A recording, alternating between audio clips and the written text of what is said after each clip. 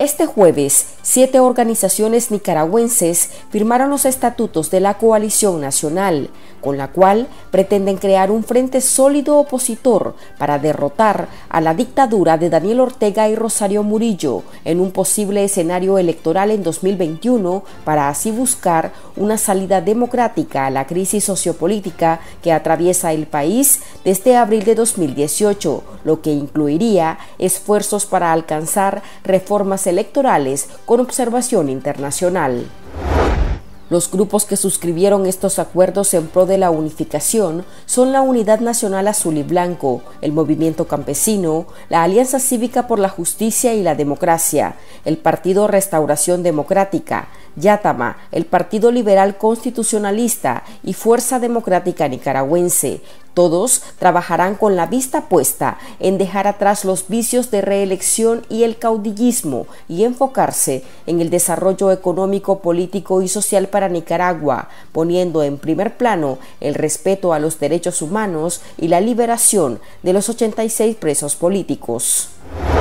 Previo a la firma de los estatutos, el director ejecutivo de la Alianza Cívica, Juan Sebastián Chamorro, señaló que tras un intenso proceso de negociación, decidieron firmar los estatutos bajo la premisa que se discutirán algunos puntos con los que esa organización está en desacuerdo, entre ellos la regla de mayoría, la que no debería de aplicar a temas que son fundamentales para el bien del país, sino más bien la apuesta, según él, estaría en el consenso y agregó que también pondrán sobre la mesa lo referente a las casillas y alianzas electorales. El movimiento campesino y dos delegados de la alianza, el excarcelado Edwin Carcache y el estratega político José Palé, abandonaron ese grupo señalándolo de imponer tácticas dilatorias para retrasar el proceso de unidad.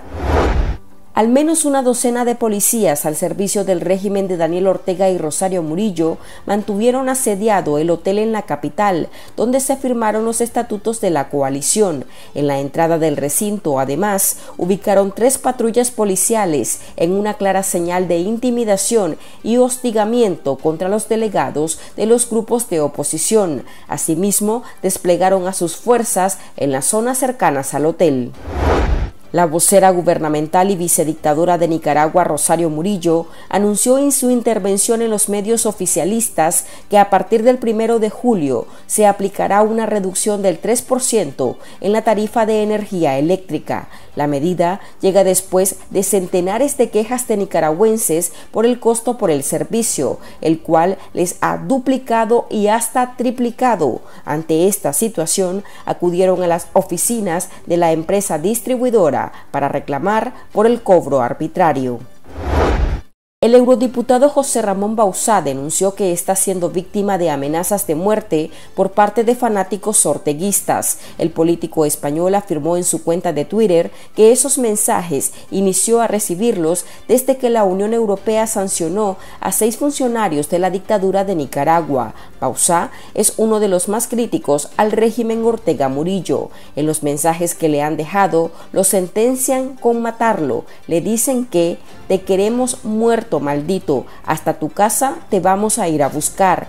Él les respondió notificándoles que se ahorren el esfuerzo, ya que esta no es la primera vez que se enfrenta a una situación de esta índole. Síganos en nuestras redes sociales e infórmese en nuestro sitio web www.articulo66.com. Les informó Marlin Balmaceda.